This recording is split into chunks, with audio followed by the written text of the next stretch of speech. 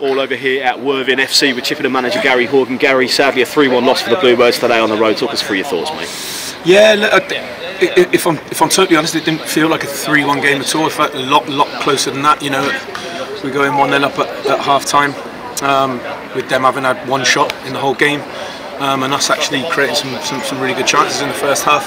Um, fairly fairly even even game certainly first half, um, and then second half uh, they come out score within within a minute. I think um, I think it's a foul on, on, on Ed Williams. I think he's he's trodden on from behind all up his Achilles. Um, and, and, and, nothing's given, and they, they continue to play when we've got a man down. Um, and, and, yeah, look, from then on it's it's one 0 and we lost a little bit of, a little bit of impetus in that time, and then we, we, we give the ball away. Um, from a throw for it to be to be two one, but look, second as I said, second half and first half, it, it certainly didn't didn't reflect. I think the the closeness of the game. We certainly had loads of chances second half as well, even at even at three one. Um, you know, there were a couple that, that, that, that, probably should have resulted in it being much closer. And as I said, so so lot, lot, lots to be positive about today for, for sure.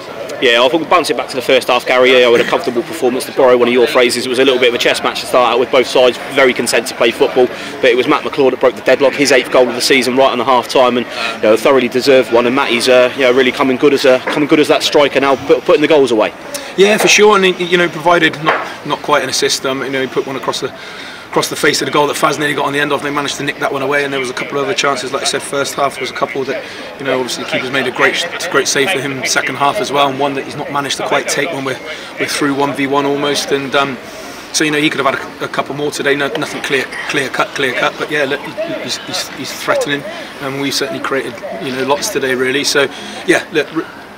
I, I, don't really like to be hugely, hugely positive after you know when, we, when, when we've come away with a with a defeat, but but yeah, look, I, I think that was a, a, really pleasing performance. If I'm honest. And I suppose one of those positives, Gary, if we are looking for it, is the goals for Worthing. You say it didn't feel like a 3-1 game. That's probably largely due to the fact that those goals came really when we were pressing to try and get ourselves back in the uh, back on the tally, really, in terms of points and two counter-attacking goals down the right-hand side. They moved the ball very well, Worthing, and they're a very good side yeah, the, the, the, third one was, like I said, the, second one came from our throat. So, um, and, and, then the first one comes when it's, it's 10 to 11. So, um, they're a good side. They're a good side at what they do, and certainly when you get two one up, um, then gaps start to open because, like I said, we had to chase the game, and it, and it did. It became a it became a really good, entertaining game.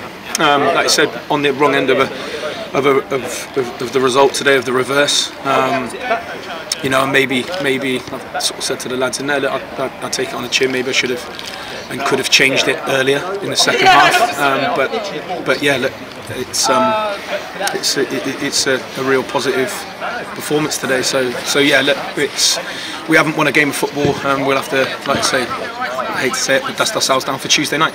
And another positive, yo, away from the game today, Gary Dan Ellison spending a bit of time with the Championship Club this week in Sheffield Wednesday. What can you tell us about that, Gaz? Um, well, I don't know if it's a positive um, because we certainly wouldn't wouldn't want to lose him. Um, but no, of course, uh, Dan's had a bit of interest. Yeah, he spent he spent um, some some time up with Sheffield Wednesday last week. Um, but as I said, we've had some interest in him from from a number of clubs, and quite rightly, you know, he's, he's done well. He's been playing well, and, and again, nearly scored again today. So, um, yeah, look, it's, it's, part of what we're we're trying to do here. We, we know how good the you know the, the, the academy is and, and, the players within it and within the system. We're giving them chances, and we always will do that and continue to do that. But um, but yeah, he, at the moment he, he remains firmly a, a, a Chippenham Town player. Good. And I was talking about remaining within our squad. Our squad starting to look a little bit more depth to it now, Gary. With returning players, Amadi Holloway's made his first start for quite a while today. Will King's come back in following his little injury, and they've both played uh, you know a very very good part in a in a competitive game today. Yeah, it sounds sounds strange. I say sounds strange. Um, they, they both you know were, were, were, decent performances from both today. You know we we've, we've missed Aaron a little bit and we've um, like I say he, he's come and done well today. King has done well as well today and, and, as I said the strange bit of it is that everybody's done okay today. Done you know done well. So it's we've, we've lost the game of football, but as I said, we've we've we've had some really positive and, and strong performances today, which is the good thing. And you talk about dust off and pick yourselves up. You haven't got a long time now to do that before the next game Tuesday night against Hemel, another side that are going solid this year in the National League South. You know, another team that you know you probably know what you're up against when it comes against Hemel, but uh, you got to get the boys ready for Tuesday night now, guys. Yeah, absolutely. Um, like I said, you know, I, I did have one eye on the the, the, game Tuesday during the second half, and, and, maybe I should have maybe should have made some, some, some earlier changes with, with that in mind, really. So, um, yeah, look, it's um, it's another game that we'll, we'll we'll have to see who's who's um, fit and able after this game. You know, we haven't really got anybody who's going to be back in time for, for that game. We'll welcome uh, Nat Williams back, uh, certainly off the off the top of my head, so so so he'll help. Um, but yeah, as I said, we'll, we'll, we'll, go and try and win that game on Tuesday. Good stuff. Well, commiserations for the result today, Gary. Well done for the performance, we'll see you on Tuesday night at Hemel Hempstead. Thank you. Well done, mate.